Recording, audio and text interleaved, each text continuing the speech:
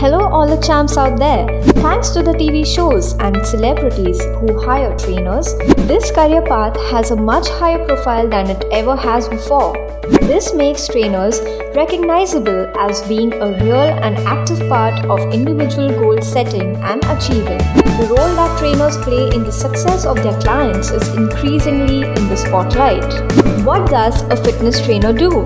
Trainers possess the knowledge, skills, and abilities necessary to design safe and effective fitness programs.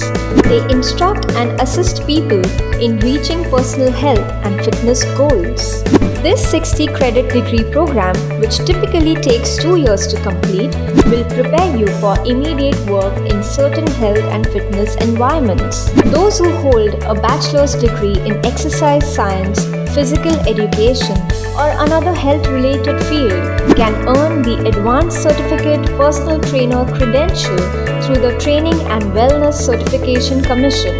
Being a fitness instructor requires a range of skills including personal motivation to keep fit and the ability to motivate others to do the same, patience and the ability to explain things clearly, understanding of lifestyle, diet, and the human body, and awareness of safety and healthful working practices. Some employers may require you to hold an associate's or bachelor's degree in fitness related fields such as exercise science. A period of hands on instruction with an experienced trainer is usually required as well, and certification may be helpful if not always required by the employer. Popular career options include fitness instructor, athletics coach, personal trainer, and physical therapy aide.